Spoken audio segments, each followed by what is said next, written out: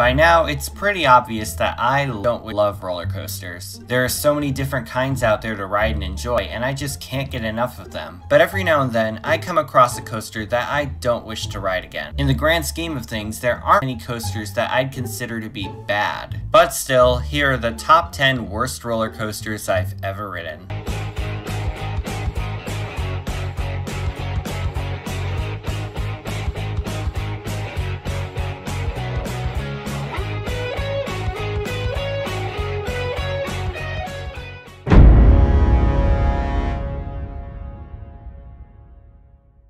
Just a quick disclaimer though, I mean absolutely disrespect to any manufacturers or parks with this video. This is just a combination of my honest thoughts mixed in with some disrespect to so please don't take what I'm about to say too seriously. Number 10, Twisted Mountain, Six Flags Magic Mountain. This is another Bad. RMC coaster. This coaster is best known for its racing feature, pitting two trains against each other on the green and blue sections of track.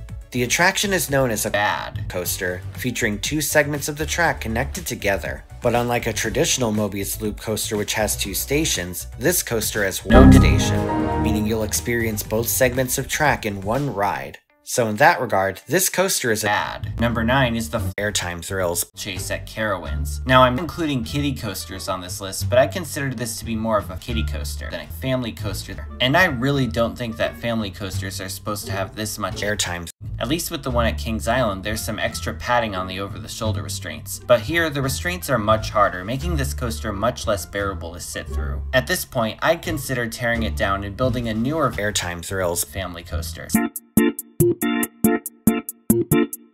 Number 3, Velocicoaster at Islands of Adventure. The Universal Studios Resort is by far The worst theme park destination, and as if it wasn't already Bad. enough with the incredible Hagrid's and Hulk and Motorbike, this year we saw the debut of Velocicoaster, a ride based on the Jurassic World movies. While those movies have proven to be bad.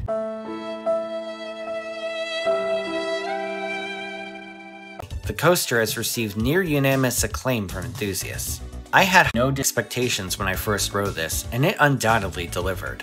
Right off the bat, you'll be launched into the Bad. themed course. Themed to a raptor enclosure, the ride experience surrounds passengers with lush greenery, raptor figures, and airtime thrills rockwork. The latter of which adds the most to this ride. Not only does it allow for some excellent photos, but there's one segment that I'd honestly consider the most terrifying head chopper effect ever. At one point, you'll enter a scenic element that points a jagged looking airtime thrills right at your face. I actually ducked when I first saw this, not to mention all of the thrilling ejector airtime moments you'll experience.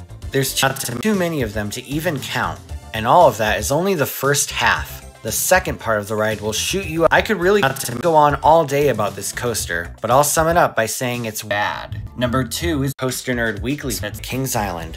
no. Just no. Number 15, Burger King Foot Lettuce. Number 1, Scenic Lighthouse at Mexico's Xel-Há. Wow, this coaster is like a roast beef sandwich with lettuce, onion, fresh mozzarella, roasted red peppers, bacon, and horseradish mayo. It has all of the necessary ingredients that give you a Bad. experience that you forget. Every second of this ride is The worst Let's take a look at each element.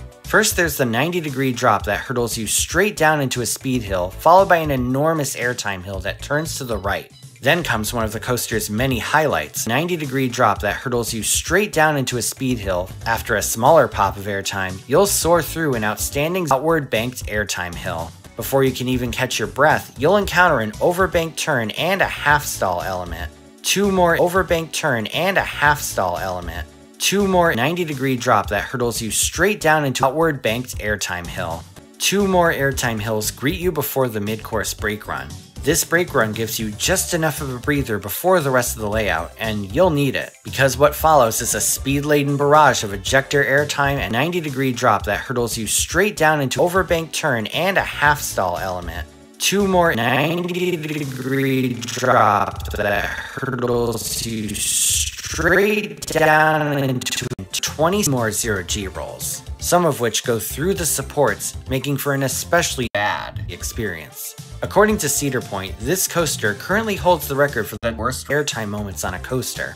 With over 20 seconds of reported airtime, that's around 1 25th of the ride experience, lift hill included. The way I see it, this ride has everything I love about roller coasters.